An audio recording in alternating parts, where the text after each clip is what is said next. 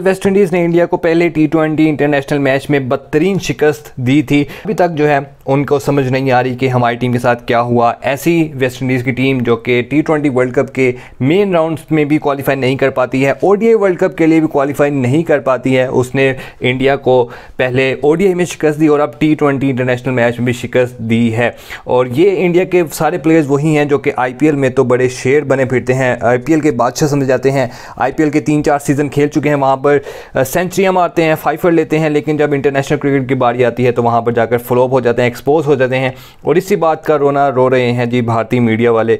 Indian media का कहना है कि आईपीएल ही खेलो, आप लोग जो हैं वो इंटरनेशनल खेलने क्रिकेट खेलने के काबिल नहीं हो। या तो आईपीएल बंद करो, अगर आपने अपने प्लेयर्स को दूसरे मुल्कों में नहीं भेजा तो फिर आपके साथ आने वाले वक्तों में भी यही होने वाला है। उनका मजीद कहना था कि पाकिस्तान से सीखो कि किस तरह से टी ट्वेंटी क्रिकेट खेलते हैं। पाकिस्तान टी ट्वेंटी क्रिकेट में बहुत अच्छी टीम है, जबकि इंडिया जो है, वो बहुत पीछे जाती जा रही है। उनका डिक्लाइन चलता जा रहा है। इसके अलावा अगर हम बात करें इंडिया की परफॉर्मेंस की तो काफ़ी शर्मनाक परफॉर्मेंस थी। डेढ़ सौ रन का टारगेट था, जो कि इंडिया की क्रिकेट टीम पूरा नहीं कर सकी और एक सौ पैंतालीस रन ही बना सकी थी। काफ़ी बड़े बड़े बैट्समैन इसमें थे, सूर्य कुमार यादव संजू सैमसन, ईशान किशन, शुभमन गिल अक्षर पटेल, जो कि बड़े बड़े नाम समझ जाते हैं इंडियन क्रिकेट में। वो सारे नाकाम हुए और एक बच्चा जो कि अपना पहला मैच खेला था तिलक वर्मा, उसने अच्छी परफॉर्मेंस का मुजाहरा किया, जबकि बाकी जो सारे बैट्समैन थे, वो फ्लॉप हुए। वीडियो को लाइक ज़रूर कर दें, चैनल को सब्सक्राइब